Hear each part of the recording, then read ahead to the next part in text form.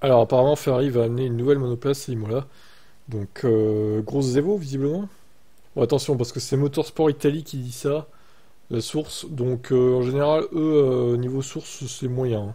Apparemment donc ils arriveraient avec un tout nouveau concept de Formule 1. La formation de Maranello arrivera à Imola avec une nouvelle voiture. Le média italien signale la disparition des actuels sidepods reconnaissables, bien que l'on ne sache pas dans quelle direction la Scuderia va se pencher. Maintenant qu'il est clair que Red Bull est trop rapide, l'équipe se concentre sur l'obtention et au maintien de deuxième position au classement. La nouvelle voiture sera dotée d'un plancher plus efficace et d'une toute nouvelle suspension arrière. L'objectif est de permettre à la voiture d'être réglée plus haut, sans perdre d'adhérence.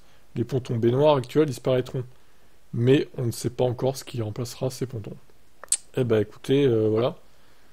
Ça pique notre curiosité, en tout cas. Donc, euh, sera pas à Bakou, mais ça sera Imola, qui aura lieu donc après Miami, comme vous voyez sur le calendrier. Eh bien, affaire à suivre. Espérons qu'il se rapproche de Red Bull, et puis espérons que Mercedes amène aussi des Evo qui se rapprochent de tout le monde. Allez, ciao